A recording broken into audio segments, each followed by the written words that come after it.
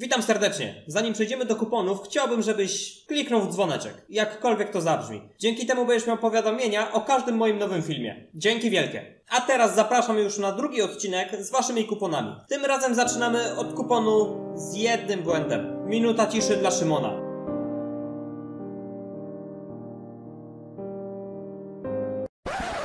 Ach, te esporty. Malediwy tak blisko, a jednak tak daleko. Jeden błąd. Jako drugie, sympatyczne Ako złożone z ośmiu zdarzeń od Szymona. Ako, który weszło i jak się domyślam, zasiliło budżet nagrania. Brawo. Szybkim krokiem wkraczamy na podium. Numer 3 to kurs 13,5, stawka 50 zł, no i jakże sympatyczne 540 zł zysku. Zawał?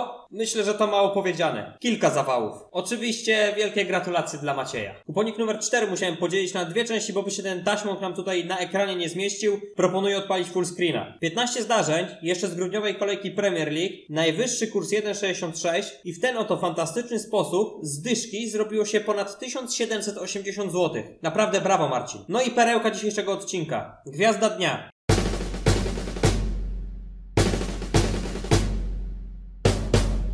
100 zł wkładu, 3629 zł wygrana. Wow! 7 zdarzeń na kuponie, z czego aż 6 z Holandii drugiej, więc trafił się nam chyba jakiś spec. Wszystko wjechało raczej bez większych problemów, no może w wypadku Helmondu było nieco ciepło, bo bramka na 2-1 padła w 89 minucie. Wielki szacunek Bartek, nie przegraj teraz wszystkiego i będzie elegancko. Nie wiem jak wy, ale ja naprawdę myślę, że Bartas, jak i każdy kto walczy z Bookmacherem, zasłużył teraz na łapę w górę, więc mordeczki wiecie co robić. To tyle w tym odcinku odcinku oczywiście zachęcam do wysyłania kuponów na fanpage i też zapraszam do mojej grupy dyskusyjnej na Facebooku. Ziomeczki, linki standardowo macie w opisie na dole. To tyle. Piona!